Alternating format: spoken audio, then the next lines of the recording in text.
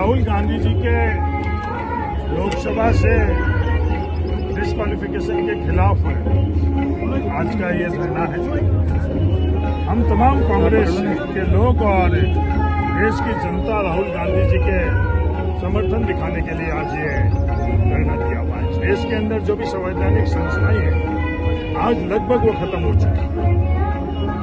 देश का आज़ादी के बाद देश की स्थापना के क्या मूल आधार ये संवैधानिक संस्थाओं के माध्यम से देश का निर्माण था आज उसको हम लोग खत्म होते हुए देख रहे हैं। पायलट साहब ने कहा कि तमाम इशू रिजोल्व हो गए हैं सरकार सारी मांग मान ली कितनी पार्टी को एनर्जी मिलेगी? नहीं हम लोग सब एकजुट हैं।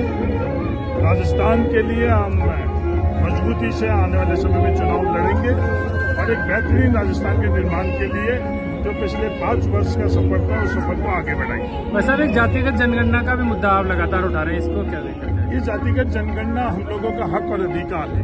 दुनिया में कोई भी समाज कोई व्यक्ति कोई व्यवस्था फैक्ट और फिगर तक पहुँचने के लिए कोई भी व्यवस्थाओं का विरोध नहीं कर सकता। जातिगत जनगणना हो चुकी है। 2011 की जनगणना के अंदर जातिगत जनगणना होने के बाद में अभी की केंद्र सरकार ने पंगड़िया कमेटी बनाकर उसको रोका कि इसमें त्रुटियाँ हैं। इतने साल हो गए उस त्रुटिया के संदर्भ के अंदर आज तक उन्होंने कोई भी एक कदम भी आगे नहीं बढ़ाया आरक्षण चुनाव में कांग्रेस का सीएम उम्मीदवार कौन होगा sir? Ashok Gehlot? Final?